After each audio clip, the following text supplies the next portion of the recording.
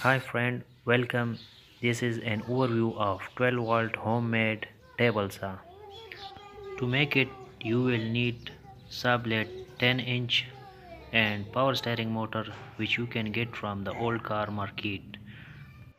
You will also need a 12 volt battery or solar panel to run it smoothly. Let's check it how it works. First fix the fence according to your requirement and ready to go okay let's cut the hardwood we have this time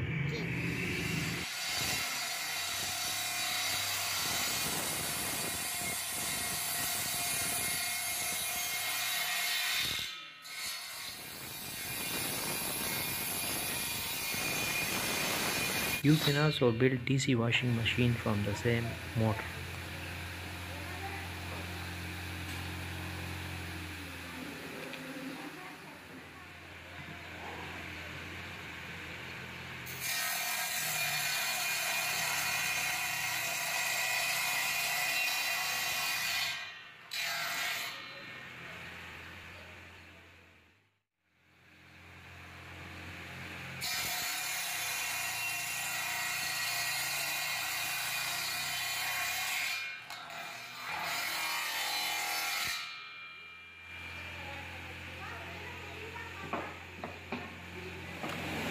Dito.